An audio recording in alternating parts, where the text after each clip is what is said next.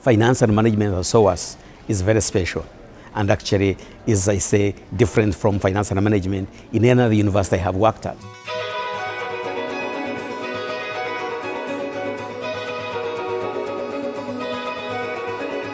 The students, the faculty here at SOAS offer a unique experience to draw down on each of our unique and individual experiences. I teach a master's class and there are about 25 students in the class and they come from 20 different countries. So a real kind of breadth of perspective and engaging with some of the difficult development issues of the day.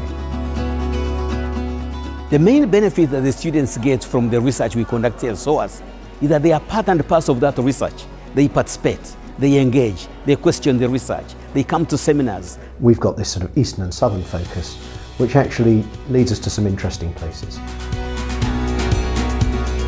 I feel the most uh, unique opportunity that SOAS offers is the diversity of its faculty and students. They bring in like all the different case studies from all around the world and that's the best thing about SOAS. So when I ask them a question, uh, they say, well in my country we do it like that.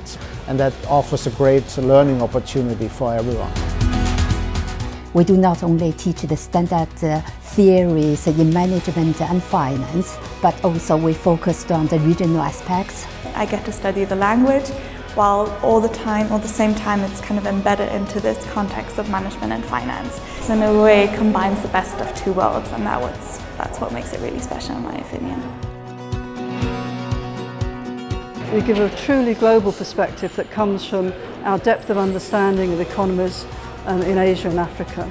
And that's what makes our programs unique. We get to learn different perspectives, how the policies are implemented in developing nations. So, in other words, actually, the, this research is designed not only for policymakers and practitioners, but for students who are actually being mentored to go out into the world of finance and management.